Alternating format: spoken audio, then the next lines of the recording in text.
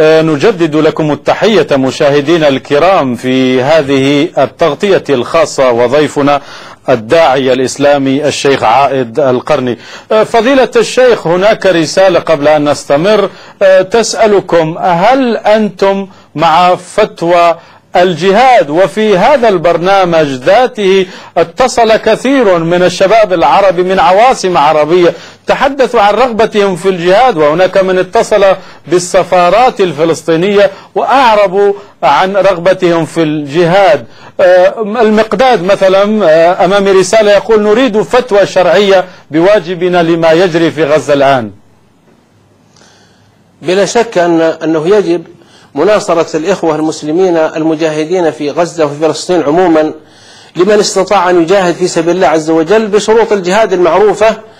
ولكن الآن يعني الذين نقرأ عنهم ونواجههم ويتصلون بنا يقولون كيف نصل إلى إلى فلسطين أصلا؟ وإلا عندهم نية الجهاد وعندهم نية التضحية وهذه الأمة أمة جهاد وأمة بذل وهي التي أقامت هي التي أقامت معارك الإسلام الخالدة وآبائهم وأجدادهم الذين نشروا لا إله إلا الله. فهم الآن يعرفون هذه الروح في, نعم. في عندهم وهذا لكن يقولون كيف نصل إلى تلك البلاد؟ بالمناسبة أنا يا أخي محمد ذكرتني بشيء. أنا أحيي شعب الجبارين شعب المجاهدين هناك على ذكر الجهاد حتى إني أقول أنقل الحقيقة الآن من صحيفتين إسرائيليتين يوم الأحد الماضي. أقارنها ببعض صحفنا في العالم العربي المخذلة المتهاونة المتهافتة التي تلمز وتغمز في جانب المجاهدين وجانب المقاتلين في فلسطين. معاريف الأحد الماضي تقول للجيش الإسرائيلي لو دخلنا غزة نخشى أن تكون مقبرة للجيش الإسرائيلي هناك لأنه أمامهم أبطال أشاوس أمامهم أحفاد خالد بن الوليد وصلاح الدين وسعد وطارق. إذا عود تنتقد سياسة إسرائيل تقول إنها إن الإعلام يطبل للساسة وإن نخشى صواريخ حماس أن تضرب تل أبيب. الآن اليوم صاروخ ضرب على مسافة خمسين كيلو وإنني أحيي تلك السواعد الميمون التي تكبر وتطلق الصواريخ على أعداء الله عز وجل المحتلين المغتصبين. وبالمناسبة نقول لن يموت هذا الشعب أبدا. وسوف يستمر وسوف يلد المجاهدون مجاهدين وأبطال وأشاوس. وسوف يأتي بإذن الله لا نقول عواطف سوف يأتي النصر بإذن الله. لكن العجيب أنه مهما حاولت إسرائيل على هذا الشعب وحاولت أن تمارس من الإذلال أو القتل أو الإبادة أو التهديم يأتون أقوى وأكثر. والحمد لله البركة موجودة. وانظر تكاثر الفلسطينيين. وانظر انتفاضتهم. ومعهم بإذن الواحد الأحد قوة الله وعظمة الله وكلمة حسبنا الله ونعم الوكيل. فضيلة الدكتور فضيلة الشيخ الداعية اليوم الدكتور فضيلة الشيخ الدكتور يوسف القرضاوي رئيس الاتحاد العالمي للعلماء المسلمين قال بأن هناك وفدا من الاتحاد سيغادر إلى السعودية في إطار جولة لزيارة بعض الدول العربية والإسلامية لمقابلة حكامها وبحث الإجراءات اللازمة. ولكن السفارات العربية حتى الآن لم ترد على طلبات اتحاد العلماء. وقيل أن الشيخ القرضاوي أو الوفد سيقابل رئيس المنظمة منظمة الدول الإسلامية. كيف يمكن لمثل هذه المبادرات مبادرات العلماء المسلمين أن تحمل صوت المعذبين في غزة والمعذبين في الأرض بهذا بهذه الحرب إلى الحكام العرب الذين لم يتفقوا حتى الآن على لقاء وعلى إدانة وعلى أي شيء من هذا القبيل. ينبغي علينا كطلبة علم كدعاة وعلماء ومفكرين ورجال إعلام ألا نترك سبيلا لنصرة إخواننا في فلسطين إلا فعلنا سواء مقابلة الحكام سواء رسائل إعلامية محاضرات ندوات دعوة دعوات في القنوت التبرع بالدم التبرع بالمال المشاعر القصائد كل هذه كلها تصب في المصلحة.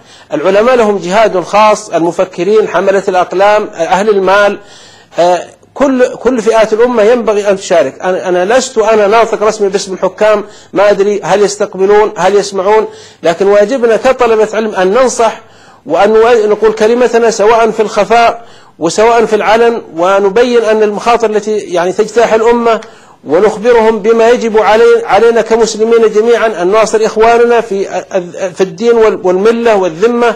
الآن الشعوب الغربية أكثر نصرة للمنسوبين إليها في مشارق الأرض ومغاربها.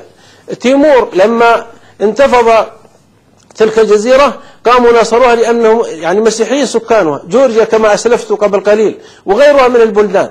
لكن المشكلة أن العالم الإسلامي الآن متناثر ومتخاذل وليس عندهم وحدة إيمانية وذهب الاعتصام بحبل الله إلا فيما قل وندر وأصبحوا رايات وأصبحوا أحزاب وأصبحوا بينهم تراشق بالكلام وتهم واختلاف وتباغض. فنسأل الله أن يجمع أمر الأمة على الكتاب والسنة. وأنا أقول إن الجهاد الآن حتى العجوز في بيتها إذا رفعت يديها وكفيها فهي مجاهدة. الطفل البريء وهو يدعو ربه ويحرك سبابته.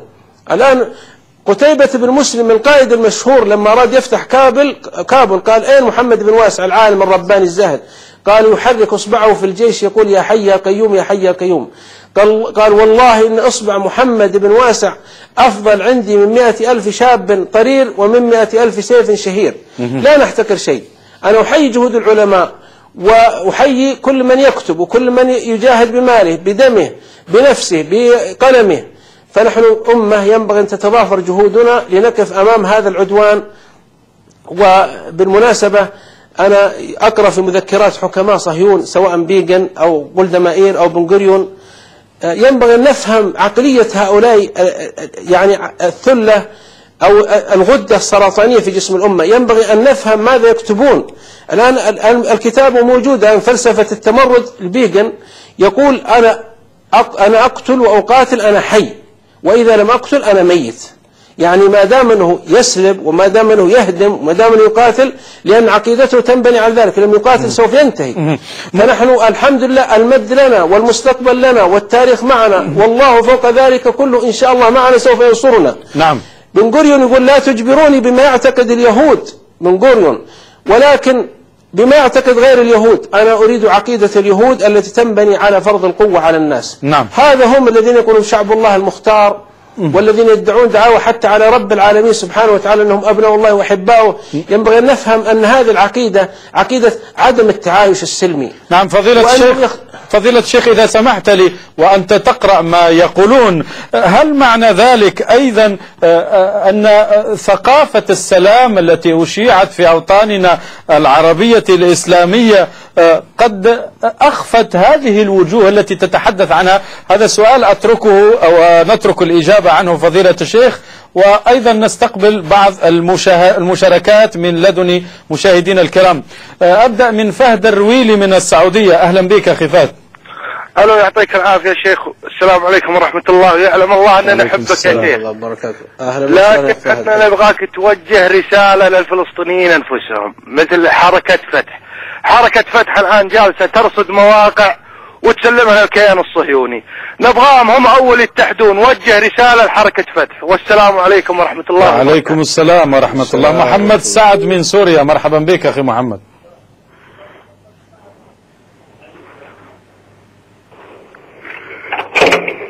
تفضل أخي محمد. ألو. مرحبا بك أخي محمد. ألو. يا أهلا وسهلا. أسمعك. ألو. أسمعك جيدا يا أخي محمد. ألو. يا مرحبا بك. ألو. معذرة للمشاهدين الكرام. هاني السيد من مصر أهلا بك أخي هاني. السلام عليكم. وعليكم السلام مرحبا بك. لو سمحت بس إحنا عايزين بس إن إن يجي يتكلم من على قناة الجزيرة يتكلم على مصر إن هي الأخ الأكبر مش إن هي العدو اللدود للعرب النهارده.